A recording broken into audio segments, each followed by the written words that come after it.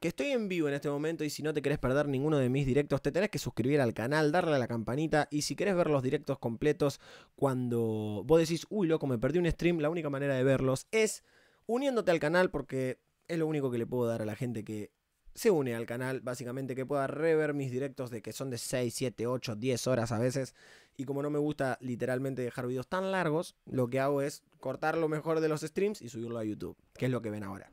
Pero bueno, hoy lo que vamos a ver es una entrevista a Cruz Santa, que es bastante vieja. Se llama Cruz Santa Entrevista de Pica, que se ve que es del 2016 que, no sé, acá hay un fanático zarpado de, Cruz Santa que me estuvo pasando como cosas de, sus inicios. Así que vamos a chequear esta entrevista para, para ver qué es lo que, lo que se imaginaban, qué, qué, qué, qué, estaban en la mente de, Cruz Santa hace unos cuatro años. Vamos a chequear. A ver más que tus profes. ¡Pica! Hola Pica, soy Enzi Cacho de Cruz Santa. Venimos a hablar de las pandillas y de muchas cosas locas. Atento.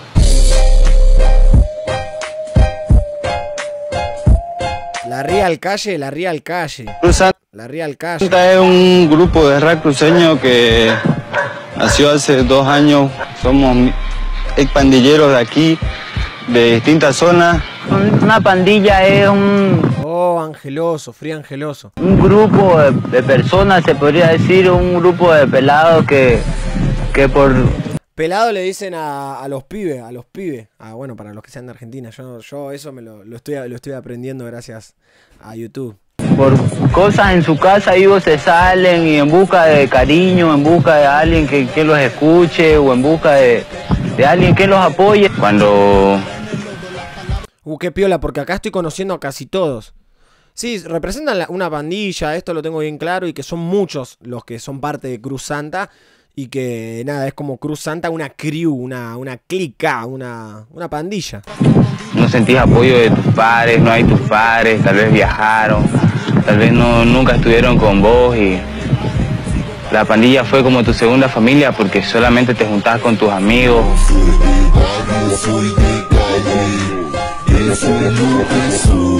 Donde hay un cabeza, donde le dice al otro que tienen que andar territorio o tienen que grafitear los lugares, las paredes. La pandilla, lo bueno es que te, te ayudan y te dan la mano, claro. La segunda familia. Que siempre tiene, la segunda familia, brother. Tiene sus cosas malas como también tiene sus cosas buenas.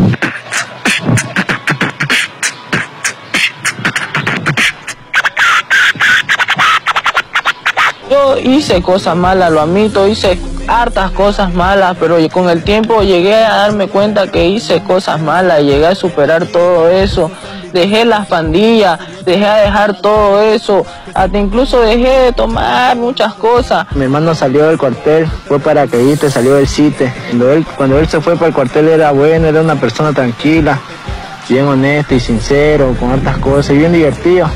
Pero cuando él llegó acá yo vi que él no era él, él cambió directo de carácter, él, él cambió ya, era, era muy brusco, era muy, mm, muy agresivo.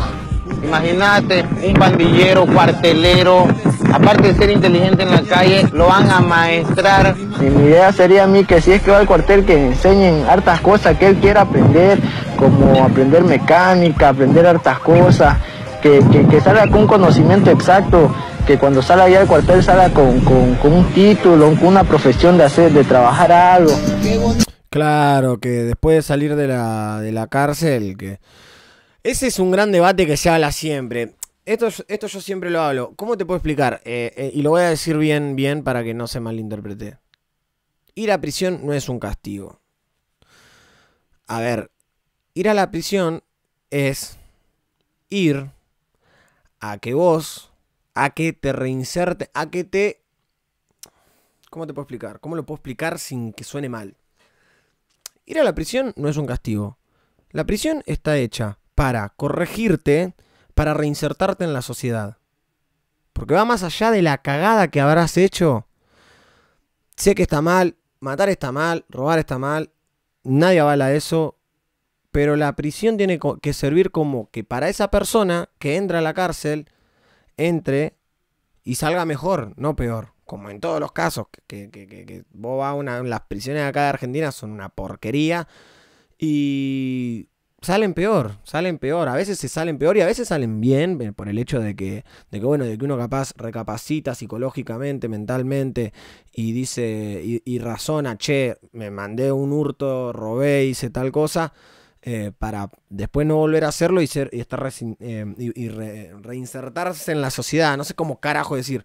Pero a lo que quiero decir sí es que las cárceles tendrían que estar como mucho mejor, ¿entendés? Tipo, en el hecho de que tienen que re- reinsertar a ese humano en la sociedad, porque se desbalanceó o corrompió contra la estructura de una sociedad. Y si no la respetas, que te enseñen a respetarla para luego no volver a hacerlo. No tiene que ser un lugar donde te caigan a piñas y salgas re loco o te hagan pasarla como el culo. Eso es lo que quiere decir este pibe acá. Y bueno, perdón si mi punto de vista lo dije como el orto, pero me expresé como puedo. Soy youtuber, no soy abogado y bueno, casi abogado. Estudié dos años de derecho, pero bueno, me quedé medio, medio flojo ahí. Alegría en casa y de buscarla afuera. Quisiera que viera un momento siquiera que el sol por mi zona, el cuero pela con los pies. Busque un lugar donde darnos hacia los jóvenes, no simplemente encerrarnos en un cuartel a, algo violento. Deberían buscar un lugar donde incentivarnos hacia nosotros, qué sé yo, hacer un concurso y premiar a la mejor canción, buscar una temática, elegir. No solamente podemos hablar de calle, de drogas, sino que podemos hablar de la injusticia o lo que pasa en la sociedad o en la tierra, como también podemos hablar de la realidad. Queremos hablar de distintas temáticas para así también que crezca la cultura del hip hop y el rap. Y lo hicieron. Y ahora están re pegados representando a Argentina mal. un pasado pesado, digamos, pero gracias a Dios y también a la música que me cambió igual de repente y ahora me dedico solamente a la música.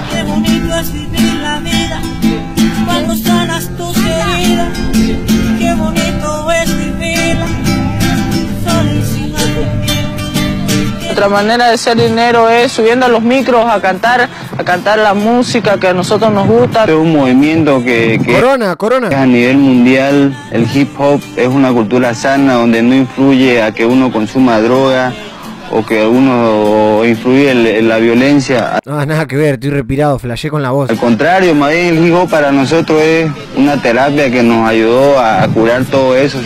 Cualquier actividad que a uno le guste, que te guste, emplearla, dedicarle tiempo. Hay que estudiar, hay que trabajar, pero nosotros ya pues, estamos en la música y te lo garantizo que ha sido más que una terapia. Pica, esto fue Amigas y amigos, no se olviden de comprar el segundo disco. No cuesta nada. Soñar no cuesta nada. Te llenaste de luz, abriste mi corazón. Pa, vienen re de Lander, amigo, la puta madre. Quedo re careta viendo todo esto, amigo. Puta madre, la reputa madre, qué locura, guacho, qué locura. Aguante Cruzanta, papi.